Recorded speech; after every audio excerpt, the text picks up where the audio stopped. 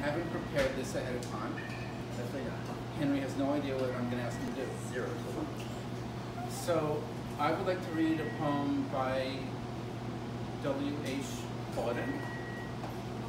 And the way I'm going to do it, I'll read a line. And then you can either repeat the line, part of the line, or do anything you want. Okay. And I'll show you the poem Oh, Henry. so you have an idea what's going on. Yes, please. I love ideas. I know, I know it by heart, I think. So I'm going to go line, give you space. All right, he's intimidating. Don't go by him. Okay. Okay. okay.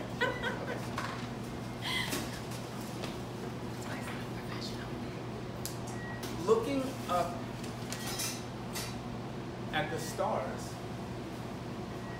I know quite well I know quite well the stars. that for all they care, I can go to hell. They care of hell. But on earth, indifference is the least we have to dread from man or beast. Earth's indifference is the least is the least of all beasts. How should we like it were stars to burn Stars like burning.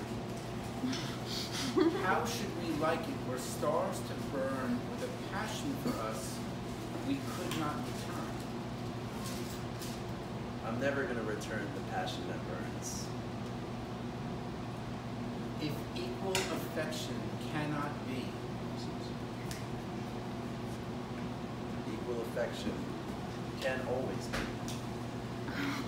let the more loving one be me.